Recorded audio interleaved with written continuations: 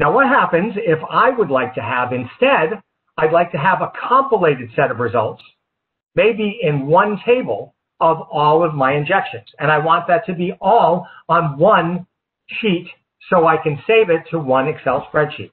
Well, that's called a sequence summary report. And we have an example of a sequence summary report as well here in OpenLab CDS.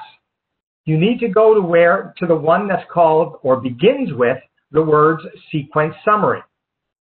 And in this case, if you go to the sequence summary underscore short underscore letter and double click on that, it will preview the data that we have highlighted in the left-hand side in this type of a sequence summary report.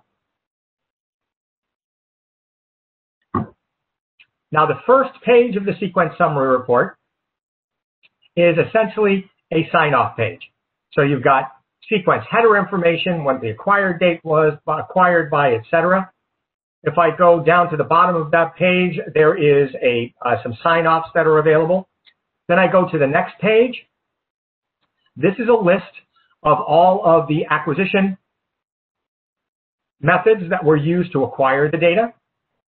Going to the third page, this is a set of all of the processing methods that were used to process the data. Going to the fourth page, it now begins to break out some of the statistics of each one of the named compounds. And you'll notice that each compound has its own table. And in this case, it's also breaking out the standards from the unknown samples. So it's got my RLM test one, that's my first named peak. It, I had three levels of a standard, so it gives me all three of those levels. And it has a single concentration or a single injection per level. Then going to the next RLM test two, and again, this is all for calibration standards.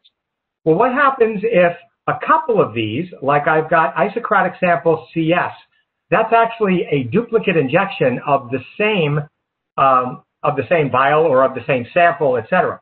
What happens? How does the data look in this type of a sequence summary report? Well, if I go to my page that has that, you'll notice that it actually groups those together, like for like. So it now knows that if it's named the same, then it is the same and probably from the same location. It's probably a duplicate injection. So it's going to parse that for us and show me both of those injections, retention time, amount, concentration, and area. It's also going to give me the average and any standard deviation that might appear here as well.